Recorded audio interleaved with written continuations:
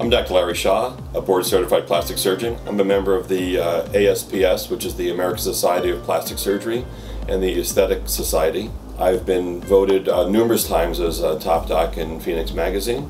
I've been voted by the readers of Scottsdale Magazine as the best plastic surgeon in uh, Scottsdale. It's very rewarding. This whole practice is very rewarding.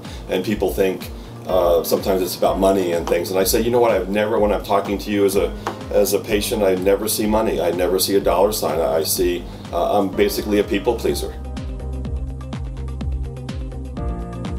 I think early on there was a, a gal that came in that was about maybe 18, 19 years old and obviously never put a bathing suit on, pale, never been in the sun, basically didn't have any development and had some distortion.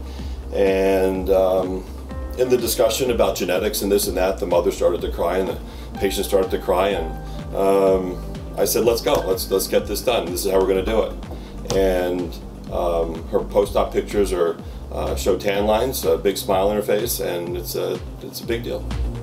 I think the biggest thing that I do is changing the way people feel about themselves.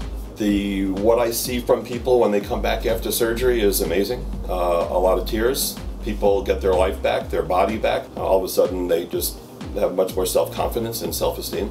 So, even though it's plastic surgery, it changes lives.